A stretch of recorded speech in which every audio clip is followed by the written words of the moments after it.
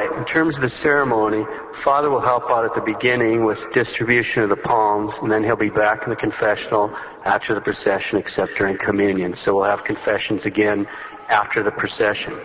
We'll start by blessing the palms up here. That table will get moved back a little bit. There's actually two ways to bless palms, either up here in the sanctuary like we'll do this morning, or the other way, which is a person can hold them in their hands. It pertains, this blessing actually pertains to palms and other branches because it has like olives or any other kind of branches. And so if the faithful bring other branches, uh, they can uh, bless them. So we'd bless the palms and whatever they're holding, including palms in their hands. And you go around and, and uh, sprinkle them with holy water and incense.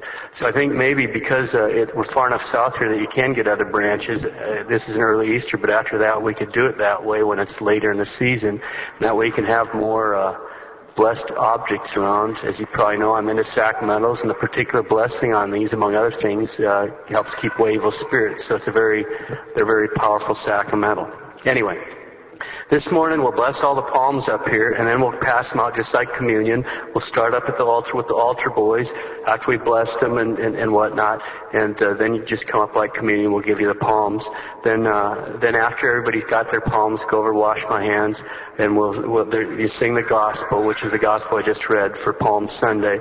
After that, then I'll sing Procedamus in Pace, and then the, the thurifer and the cross bearer and the acolytes and myself go out, and then from the front pews going backwards, you'd fallen behind. And we'll go out the main door, we'll go this way, we'll just go up this side of the parking lot, make a curve, down the other side, the, the far side of the parking lot, and then back in. So that'll be the way it goes. We'll be in the front. Then if you go like that, then when you come back in, it makes it more orderly so there's not a car wreck.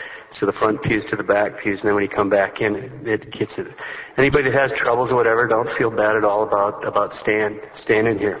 Okay, so uh, you can put your palms down. Uh, once once we're in, I say one more prayer because there's one more blessing that has to do with keeping away the evil spirits. But once Mass starts, you can put your palms down. Uh, you no longer hold the palms during the Passion. Mass is the same from that point on, except that there's no last gospel. Okay. Now, what does all this mean? We could preach on any one of these things for a long time, but we'll make a few quick remarks this morning. First about that first Palm Sunday in our Lord, and then about, in more particular, about the ceremonies here this morning.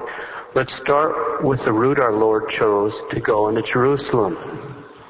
On Palm Sunday, our Lord comes up to Jerusalem from Bethany. Now, Bethany means the house of ripe figs. Bethany, of course, is the home of Martha, Mary, and Lazarus. And it's also where during all of Holy Week, our Lord will come down from Jerusalem and return to spend the night. Every night, of course, until Holy Thursday. So our Lord comes up to Jerusalem from Bethany through Bethphage. He comes, he go, comes from the house of ripe figs and goes to Bethphage. Bethphage means the house of unripe green figs. So what? What does all this mean?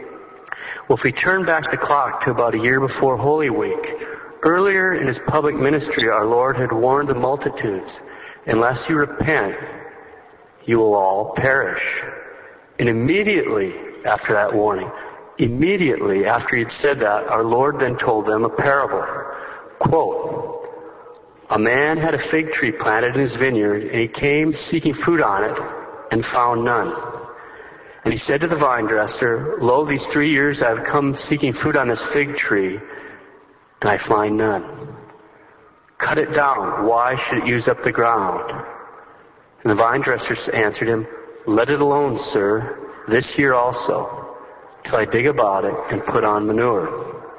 And if it bears fruit next year, well and good. But if not, you can cut it down. Close quote. The multitudes to whom our Lord was speaking knew exactly what he was talking about. He's warning them to bring forth fruits of repentance. In the parable, the man who owns the vineyard stands for God the Father. The vine dresser stands for Christ our Lord. The fig tree stands for the Jewish nation, which of course our Lord spent three and a half years trying to get good fruits to come forth from his people. So what's the meaning of his path in Jerusalem? He's coming up from Bethany, the house of ripe figs, a town where he has found fruits of repentance For example, St. Mary Magdalene, St. Martha, St. Lazarus. He's coming from there and he's coming up through Bethphage, the house of unripe green figs, into the holy city. It's a symbolic warning. And then the day after Palm Sunday, as he comes again up to Jerusalem from Bethany to Bethphage, he stops at that fig tree and searches for fruit. When he finds none, he curses it and it withers and dies. That's a symbolic, a frightening ending to his parable. He sought fruit on that fig tree and he found none. Just as for three and a half years, he's been seeking good fruit from his people. It's obvious what he's saying when he does that. What about our Lord riding up on an ass and the colt of an ass? What's all that about? That's the fulfillment of a prophecy, prophecy of Zacharias. The fathers point out that our Lord first rode the ass, then got right off her, and then climbed on the colt and rode the colt into town. Why? The ass is broke to ride, and the colt wasn't. The ass is a symbol of the Jews who had been subject to God and His law. while the colt represented the Gentiles who'd been running wild. When our Lord rode the ass briefly and then got off and rode in on a colt, he was again symbolically warning the Jews they are about to be rejected and the Gentiles were going to take their place. So what's with the palms? In the olden days, for both the Jews and the Gentiles, palms symbolized victory and triumph. For example, in the Old Testament books of Leviticus and First Maccabees, we can see palms used by the Jews for just these purposes, as of course we see today in our Lord's triumphal entry into Jerusalem. At Roman games, the champions got palm branches, and palms were also used in the great triumphs which a Roman emperor would use to celebrate a victory.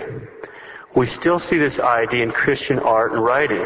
We talk about martyrs receiving the palm of martyrdom. And you'll see a lot of times in holy cards or paintings in old churches or stained glass where there's a martyr standing there holding a palm in one hand. What does it stand for? The triumphal victory over death. Now there's a lot more symbolism here, but we'll just stop there and take a moment to briefly consider some of the symbolism of what we're doing here. The procession outside and then back into the church on the first level represents our, first, our Lord's entry into Jerusalem. But on another level, it also represents his triumphal entry into that heavenly Jerusalem. Now this was easier to see until Pope Pius XII changed the Holy Week ceremonies in 1955. Because until then, when the procession would arrive back at the church, the doors were closed.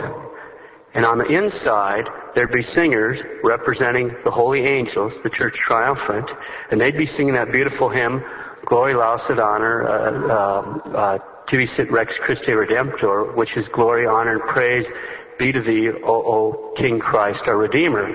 And that they're singing celebration of our Lord coming up to the heavenly Jerusalem. And then the outside, the choir outside would answer them as, as representing uh, the church militant here on earth. After the whole earth, whole hymn was sung back and forth through the closed doors, then the guy carrying the cross would slam on the, bang on the doors with the cross. The doors represent the gates of heaven that were slammed shut by Adam's sin and closed. And bang it on the cross, as soon as he hit it with the cross, they'd be thrown open, which symbolizes, represents the opening of heaven by the holy cross of our Lord. And then his ascension leading those members of the church militant who have triumphed, carrying their palms into that heavenly Jerusalem. Right after that then, during the course of the Mass, we turn to the singing of the Passion. So we've just had this triumph that represents, of course, Palm Sunday, the triumph into Jerusalem, and Ascension Thursday, the triumph into heaven. But then we turn to the singing of the Passion. Now there's another change. Until 1955, during the Passion, we would hold our palms during the singing of the Passion. And this symbolized that although his disciples abandoned him during his passion, we'd be faithful to him until the end. But for the past 50 years, liturgically speaking, we no longer declare two things. It's been changed. We're no longer clearly declaring, without the banging on the door of the cross, that only by means of the cross can we get to heaven. By not holding the palms up, we're no longer clearly declaring that we're going to remain faithful to Christ even in the passion of his mystical body. And I think those changes are prophetic. Now, the singing of the Passion reminds us that between the triumphal procession of our Lord into the earthly Jerusalem on Palm Sunday and his triumphal procession into the heavenly Jerusalem on Ascension Thursday, our Lord had to suffer his agony and his passion. And that ought to give each one of us pause. Because in the first place, we put him through it by our sins. And in the second place, because as Catholics, as members blessed to be members of the true religion, our Lord has the same message for us as he had for the Jews. He's been coming to look for fruits of repentance in our lives during this holy season of Lent. He's warned each of us time and again that unless you repent, you will surely perish. In the third place, just as our Lord used his path in Jerusalem, a fig tree and an ass and a colt, to warn the Jewish people of his collective judgment of them, so also he's given us, Catholics, very clear indications of his collective judgment of us. Let's consider two. First, at the eighth station of the cross, our Lord says to the weeping women, don't weep for me, weep for your children. For there will come a time when they say, blessed are the barren, the wombs that never bore, the breasts that never gave suck. In other words, our Lord is telling the women they should weep for the people that live in that time. A time when our Lord will come again looking for fruit. Fruit of the womb. Babies. But instead of finding those fruits, he'll find people, his people, that say, blessed are the barren. He'll find people that actually think it's better to not have children, to be sterilized, to contracept, or even to abort those fruits. He's telling the women to weep for the people in that time who are not bringing forth the fruits he expects. And you don't need me to tell you we live in that time. Second, our Lord is also giving a very clear indication of his collective judgment of us by the state of his church. As St. John Eudes explains, quote, the most evident mark of God's anger and the most terrible castigation he can inflict upon the world are manifested when he permits his people to fall into the hands of clergy who are priests more in name than in deed. When God permits such things, it is a very positive proof that he is thoroughly angry with his people and is visiting his most dreadful anger upon them. Close quote. God's warning us collectively as a Catholic people, he's thoroughly angry with us. We need to bring forth fruits of repentance. We each need to become holy.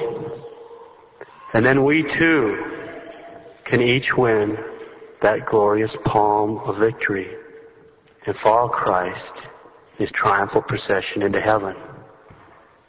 Let's each commit ourselves to holiness.